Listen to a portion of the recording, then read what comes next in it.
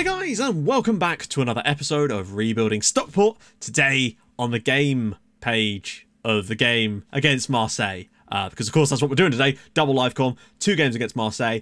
I think it's doable, but I think this is going to be a tougher task than RB Leipzig. Um, although, to be fair, we've, we've not had the best luck in terms of draws. But when you look at the other teams in here, none of the Stuttgart, then again, they've been champions of the German League. Galatasaray, maybe, Celta Vigo, Nice, Ajax. There's a few teams in here that I would have maybe preferred to draw.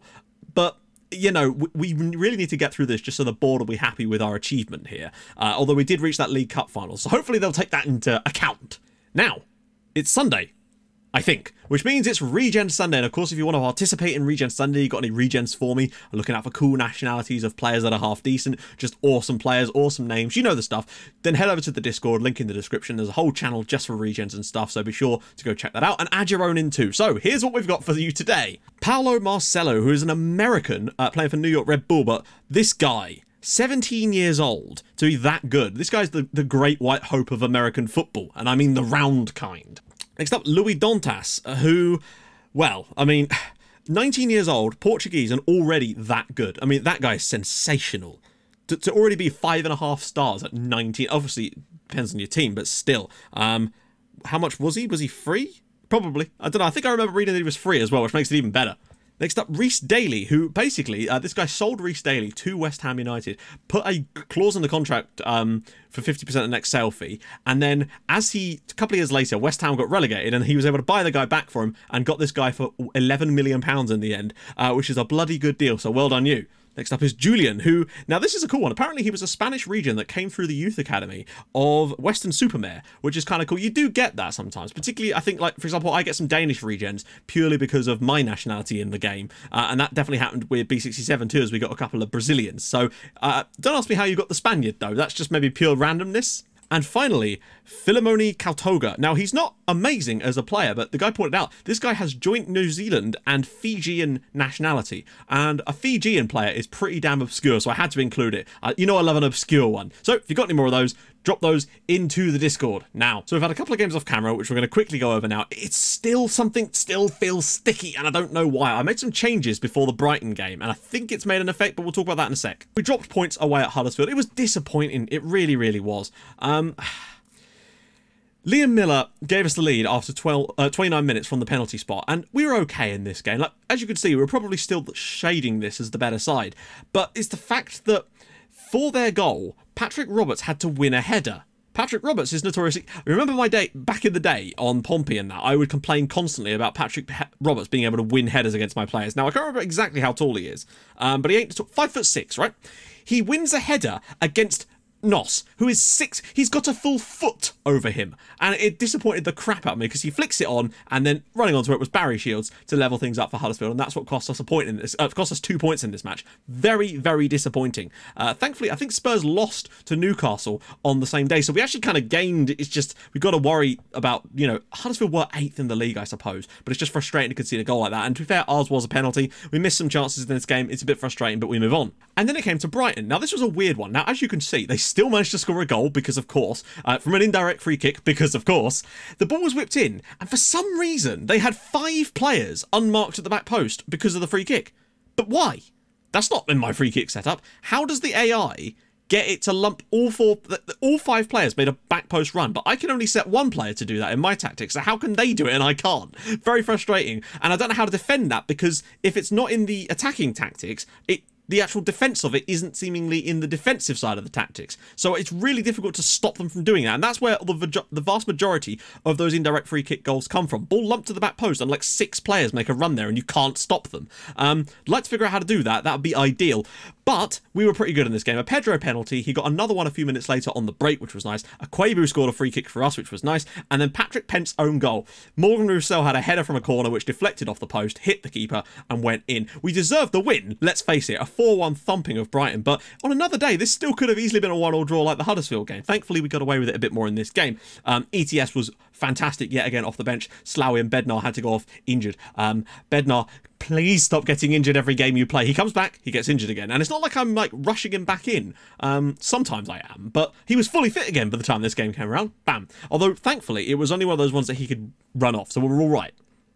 But the change I made was to turn off walk, work ball into the box from the beginning, because I find that I often end up turning that off in the middle of games anyway, so I'd rather start with it off, allow us to go out there and learn how to play like that, and if we are starting to get a load of shots off target, then I can turn it on to sort of kill games off and work on the possession. That's what I did here. I turned it back on later in the game to hold on to the ball a bit more, and just try and, you know, create a bit more intricate chances when we already had the lead. But I think it's a good opportunity. The other thing I did was turn off Pedro shooting more often. I could I thought I didn't have that on. I thought I he used to have shoot less often on, but that was causing him to get too close to the goal. But I think for whatever reason, I'd somehow I don't know where I did this, turned it on to shoot more often, and it meant that he was taking the shots too early. And I want that sweet spot. We're really having to fine tune things to get the best out of Pedro. And today, obviously, it was only a pen, but the second one was a prime example of him just taking a touch, setting himself, and scoring, which was nice. Right now, just quickly, here's what the league looks like. We're into second place at the moment, 15 points behind Chelsea, because of course we are. We're above Man United, but they do have a game in hand, so they could draw level with us after that. Uh, we have moved now four points clear of Liverpool, who have had a couple of results against some of the tougher sides, to be fair, like Chelsea, I think. Um, Spurs, again, dropped points against Newcastle, and they were, a goal down to Palace, but put, turned it around with two goals. Um, so they are now seven points behind us, but we do have a game in hand on them as well, which is very nice, and that can push that to 10 points. And I think we're getting close to sewing up Champions League football. Just a few more victories, I think. We do have an Arsenal game coming up in between, so that's going to be tough, as Arsenal do have uh, two games in hand on Spurs. But even if they were to win both of those, they'd only draw level with Spurs on points, so they'd still be at the very most, uh, very minimum, seven points behind us, as at the moment they are 13 points. And if we beat Arsenal, that will probably take them out of the Champions League race entirely, and that's pretty damn nice. Um, now, we're missing a couple of players. They're missing a lot of players, it would seem, so that could potentially help us. Rudy Garcia, the manager, we're just going to do our best. They're playing a normal looking system from what I can see from the scouting report, so hopefully they'll continue that. But we'll just go in here now. Okay, yeah, that's fine. So Bruma, Trinker, Sola, um, oh, Jordan Amavi, Nathan Ake. Okay, interesting. So Lopez is the man to go after in the midfield. The others will all take care of themselves once we set this up like that. So, unfortunately, injury risk is kind of high on everyone at the moment because we've literally got no choice. Thankfully, Slowey's injury wasn't severe enough, and that's actually kind of good. I guess he's not as bad as injured as I thought. It's basically, and Camille Bednar as well as you can see. So about as strong a team as we're possibly able to field. Bajsa, Pedro, Abasolo, Melo, Slawi, Bofa, Bednar, Roussel, Makengo, and Duran. And the key thing about this is you can see this. All the links are there. The players have built up the links. This is about as strong a team as we're possibly able to fulfill, and I'm glad of that. So I think off the bench, we're going to have ETS, Hume, uh, Miller, uh, Nos, Lazaro, and Gadais. With the home game first, we're going to go out there and be positive and try from the start just to try and have a crack at this, you know? Let's, let's do this. I don't know what to expect. I want to see us put in a fight, though. But I'm certainly not expecting anything from us against Arsenal, that is for sure. Wilson generally goes to Roussel because he's got that passing ability to get us out of trouble at, at times. Slowy picks it up. That's better.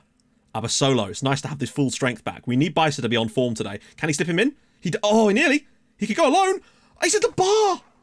Oh my god, we've had some... Slowy's now taking a knock again. My godness, man. Can you not stay fit for more than one game?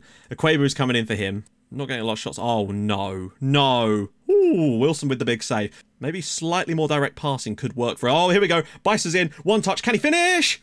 No, of course he bloody can't. Of course. I need a new striker next year. I'm sorry. I like Joseph Bajsa, but he misses way too many of these one-on-ones. So we're going to switch it back on here. I'm also going to up the passing a little bit to just give us some more options because they're not playing those simple passes out to the flanks enough. Might also counter-press them. It feels like the type of game where we could get away with that. Go on, get in there. That's fine, lovely. Oh, nice ball. Pedro, can he square it for someone? Ball across. Bajsa! Yes! Thank you, Joseph. You've done your job. 16th goal of the season. Stockport 1, Marseille nil. Sometimes not working into the box will work, but at least we had a first half where we, were, we weren't just completely dead. We were still creating stuff. Pedro, and some of those will go in. Sometimes you need to be a bit more precise with it. And now we have the lead. We're going to work it into the box and just control this match now. Bajsa. Oh, look at the space out wide. He's going to have to use Abasolo, though. Unless he could dig a pass out to the back post from somebody, he could go all alone. Pedro's in, and it's 2-0. That's what we really needed. Pedro's goal, Abasolo's assist. 2-0 up at home to Marseille. Right, clean sheet now is absolutely crucial. Just sticking on positive, keeping things nice, trying to catch them on the break where we can. This is they, nobody closes down Abasolo. Pedro makes his run, gets into the right position this time, finishes in it off, and that is 2-0. That is very nice. I want to bring on John Hume soon to win some extra headers. And it's a penalty to us. Pedro can take it. Oh, yes, come on. Come on, Peders. If he scores this, I feel like we're in really good shape. Come on, Pedro. Do me proud, son. And he scored it! Stockport 3, Marseille nil. Pedro's 23rd of the season. Now we just need to see the rest of this game out. And we might even be able to rest players for the second leg if we can see this out at 3 0. 3 1, there's still hope. If we win this game 3 0, I cannot see us not going through, but there's still a long way. So it's getting a bit dangerous here, guys. Don't need to be so fast with it. Abasolo, can he find Pedro again? He can! Oh! Yeah! what a goal! Stockport 4, Marseille nil. Pedro with the... Is that a hat-trick for Pedro on the night? Oh my god. What about this? I, how is this not his assist from Abasolo? Abasolo again driving at them. Sees the run. Pedro takes it round the goalkeeper. And then... So how is that Pedro's goal? Does the defender tackle Pedro's foot into the ball? Alright. Absolutely flawless performance in the second half. Pedro was the king. Um, everybody else out there was phenomenal. We are going through to the next. We're getting to the quarterfinals, lads. 4 0 over Marseille. A hat trick from Pedro in nine minutes. A nine minute hat trick from Pedro. Josef Bajsa with a goal as well. We could have had more. Bajsa went through in the first half. I think this new approach of starting off with a bit more free flowing and then sort of trying to be a bit more creative later in the game uh, seems to work a bit more as it sort of softens teams up a little bit. Maybe it's just this one game, but I'm super pleased with that. Now, Arsenal off camera and then on to the second leg where we might play a couple of the youngsters. We'll see. Maybe we can take this into Arsenal and do something in that game too. So, we've had a youth intake. I totally forgot that was going to be a thing. Don't worry, we'll quickly talk about the Arsenal game in a minute. But first, youth intake. Now, We've got every reason to be excited by Frank Platt Beach. That, is a name right there, FPB, who has the potential to be one of the most gifted players to come through the youth and ranks at Stockport in recent years. Okay, notable influence on Dean Cherry and Steve Hurst. Come on, give me something good, please. Oh. Oh. Oh dear. oh. Um, okay. Got me all excited there and, um, it's a bit iffy, really, isn't it? Um, so okay, there's Eddie Schumacher, who's a target man striker, who's six foot tall. Somebody's I mean, finishing seven. What about this Frank Platt Beach guy he was banging on about? Eight, 14 marking is pretty solid. He's six foot tall, four balance, and he argues with officials. I don't see him being a world beater somehow. Um, so a one-off camera game was away at Arsenal at the, Eti uh, the Etihad, at the Emirates. It was unfortunate. I think we probably deserved a draw at this. I know they had more shots, but it was mostly shooting from range. They created one chance in the entire game. So did we, in fairness, uh, as Nos put a ball over the top and Bajsa was through on goal. Well, well, you know what happened. He missed, of course he missed. Um, and that should, I probably think a one-all draw would have been fair based on that. The goal they scored was annoying because th they had the ball, we were all set, and he just ran around the back of our defence and put it in the net. It was a bit frustrating that we didn't track the run better. Um, and a point would have been really useful just to keep Arsenal out of the battle for Champions League, really, and just give us one more point. Okay, so we're going to obviously have to move some stuff around. That's fine. Uh, unfortunately, oh god, that's a problem, isn't it? Both are suspended. Dyer's injured. Dendoncker can't play. I'll tell you what, it's just as well that we're 4 0 up because that could have been a real problem. Playing a DM here, uh, sorry, a defensive, a, a centre back here probably isn't the worst thing in the world anyway because he's already going to be thinking about that kind of stuff. That'll probably do. Garay Lazaro, Akwebu, Miller, Dimitrov, Davidson, and of course, John Hume. Now, we go up there, we'll have some fun, see if we can't get ourselves... If we score a goal, this is over. Not that it isn't already, but if we was to score a goal here, it would be dead in the water. They'd need to win, what, 6-1 if we score? So let's try and do that. It's also just occurred to me that as of this point right now, we have won nine, all nine Europa League games that we've participated in. Every single game. Wow, they could have done a lot better there if he'd provided a good cross for his striker. Oh, come on! There's two of you on either side of this. Like, one of you two should be blocking this cross. And at the far post, there's two of them, and somehow neither of them tries to win the ball. Ridiculous. Come on. You're better than that.